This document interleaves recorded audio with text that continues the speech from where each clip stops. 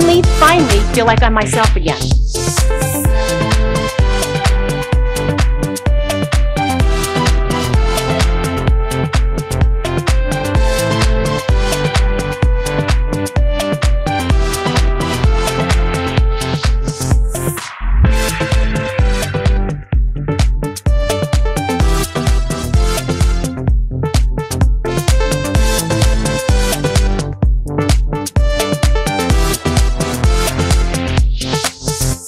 Been amazing. I ran a tri- I've done a triathlon. I'm working on my next one in June. Frankly, I'm changing my life.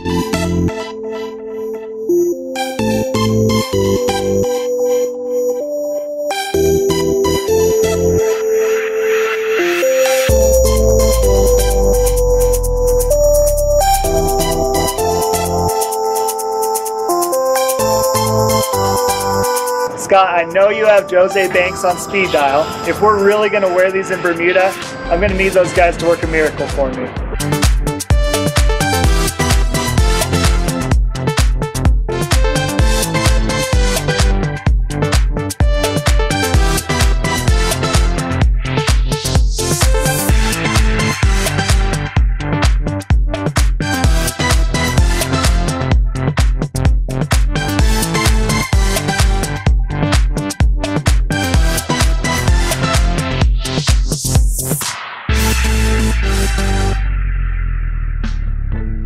Most people don't know that I'm going to do this or that there's even a challenge for me because it's not necessarily the first thing they see when they look at me and they're unaware of the prices that I'm paying um, around my self esteem and the relationship that I have with me in making agreements and keeping agreements with myself. And so I think that's also going to be the biggest opportunity because a lot of times people will see the end result and go, oh, we've always been like that, or that wasn't a challenge for you.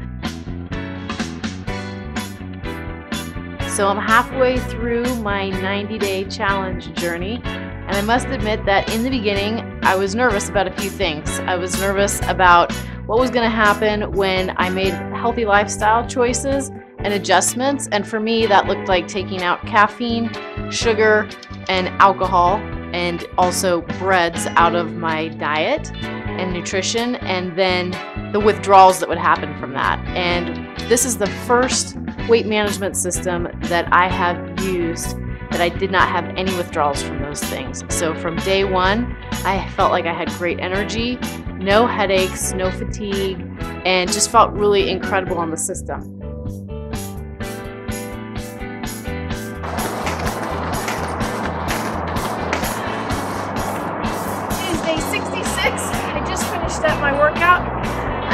Incredible on TR90. So far down 17 pounds and 7% body fat.